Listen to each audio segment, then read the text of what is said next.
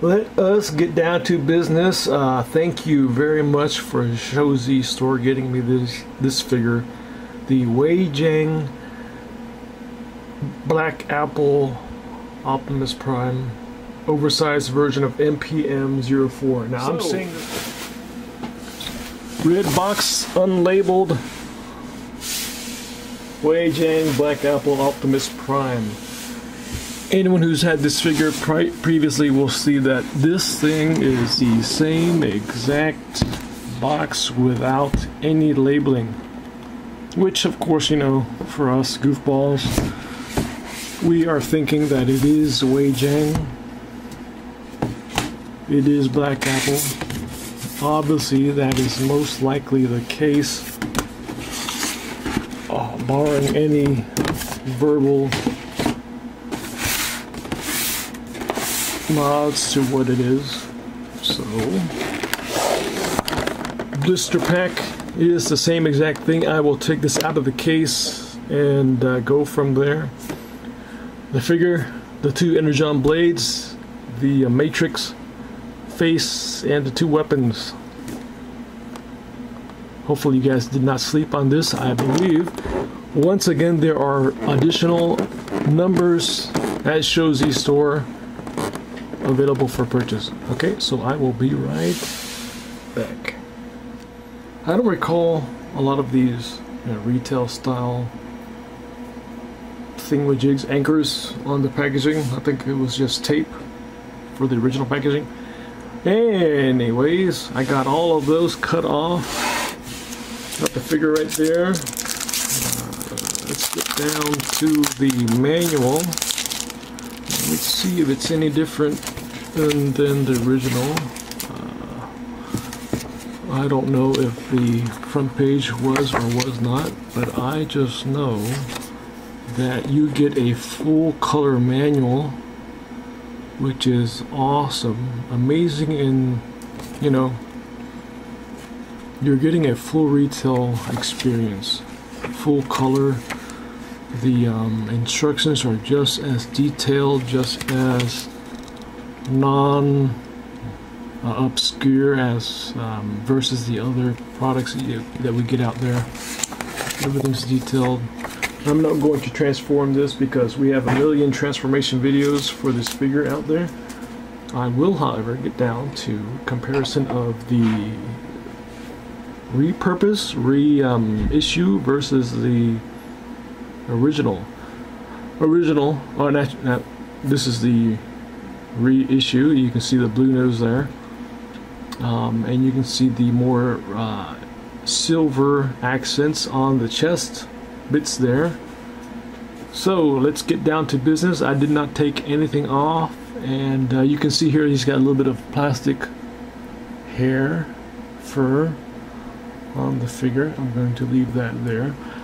I'm not going to recolor this figure at all. I have silver uh, markers I'm not going to recolor the nose because I'm going to keep it um, as is so that the figures are um, unique to each other. Let's get down to comparison. So out of the box, headlights are pointing downwards um, and that's the only thing. Uh, there you go. As you can see, you know, out of the box, this this is the height. This is the original height, the OG height for this figure out of the box. This was the uh, altered height to match uh, Threezero's DLX Optimus Prime. And as you can see, if that's the intended height, uh, they are virtually the same height. Nothing different at all. Okay, I'm going to see how much Let's see, go ahead and put the original back in the background. Uh, the reissue in the foreground. So I'm going to look here. The one thing I noticed, of course, uh, on the original, his um, crotch, his, his uh, aging, weathering, was always uh, lopsided. It was always on one half, uh, on his right half. So you can see there it's on his right half, is aging, right? This one is even, his uh, thigh aging weathering is the same even modeling stippling effect on the same. Um, and let us get down to actual articulation. So, okay, let's see. As you can see, um, my truck visors are not stiff. However, I can say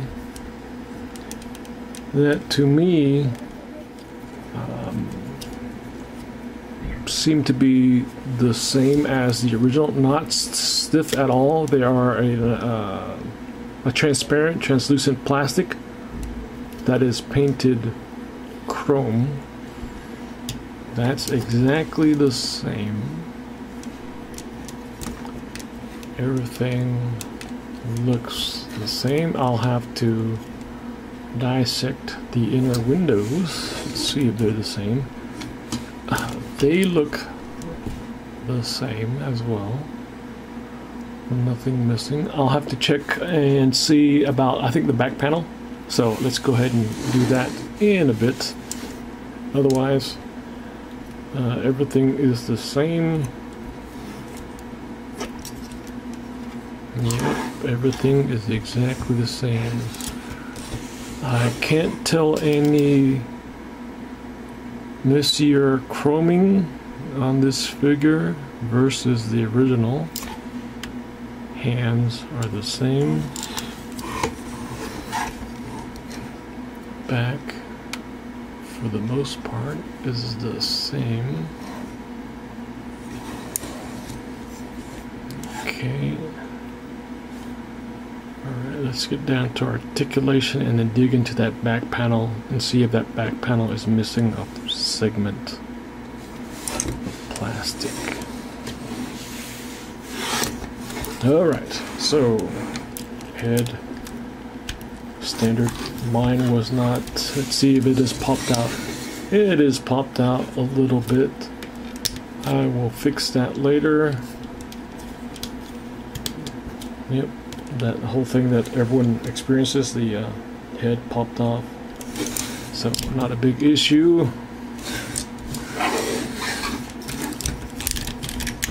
Soft ratchet in the shoulders.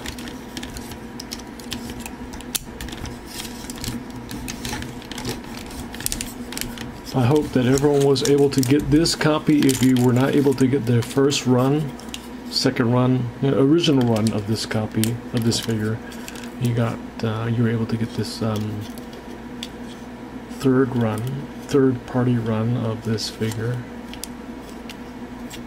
This is the epitome of third party TF figures that you could get on the market.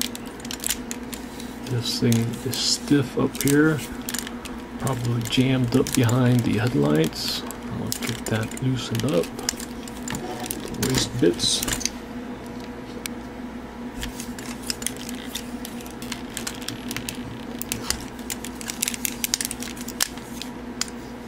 And okay. after scrutinizing both of these figures, um, so we can see that the, the, the main figure itself is uh, basically identical.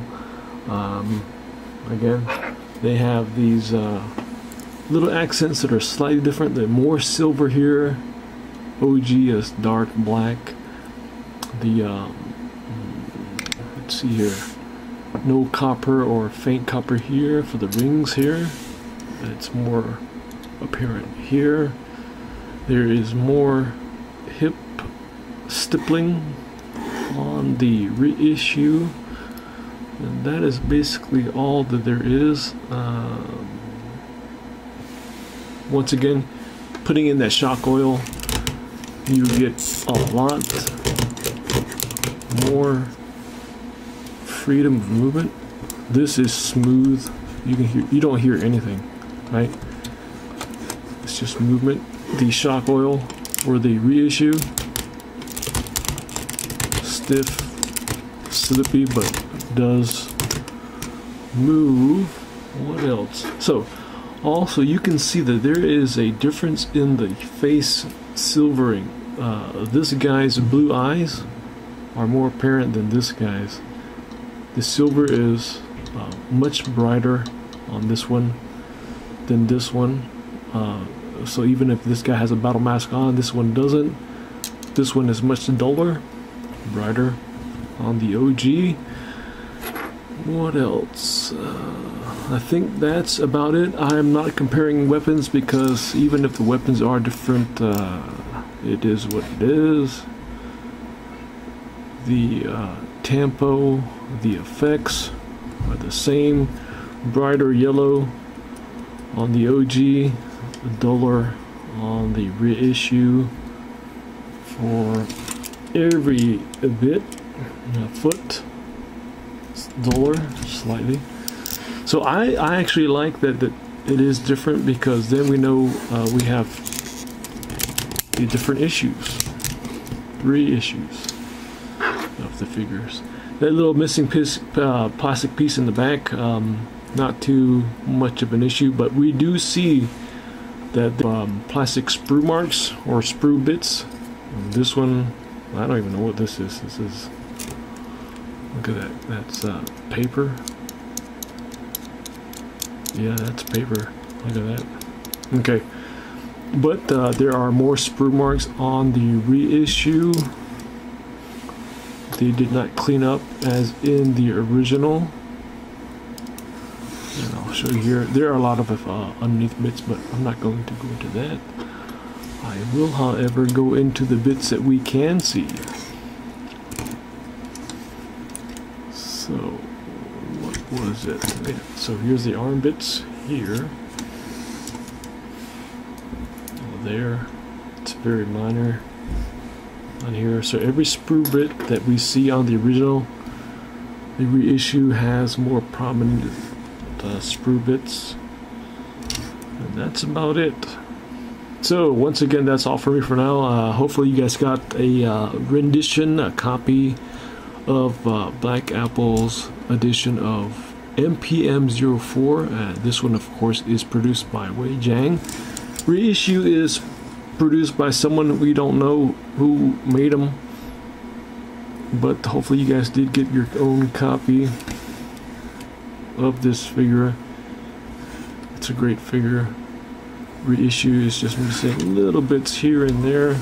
Otherwise, still great.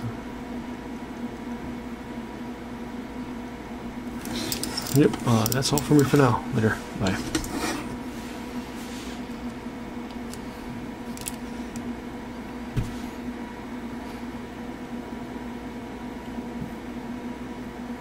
plastic fairy hair. Going to leave that there.